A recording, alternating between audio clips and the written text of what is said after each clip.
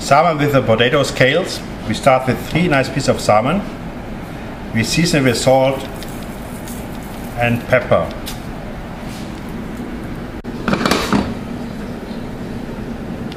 In an overlapping pattern we lay out our potato scales.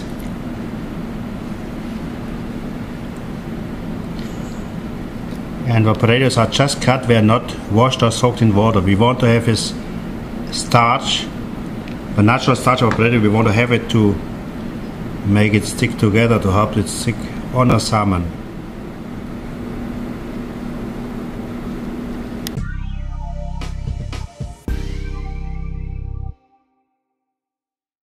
Spray it with cooking spray and apply another piece of parchment paper on the top.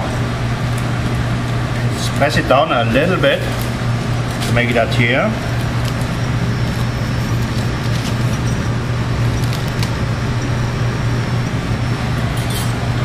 Pick up the whole parcel and turn it over. Carefully lay it in a hot frying pan.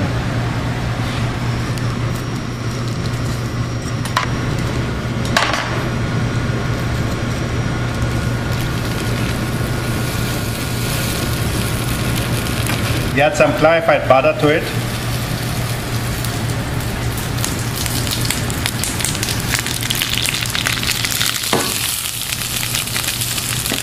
And put it in oven.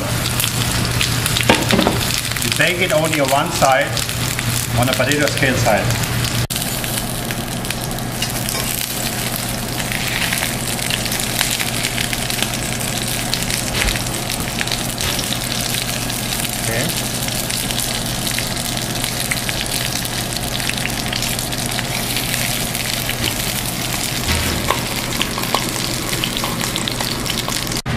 And we will start doing our plate presentation.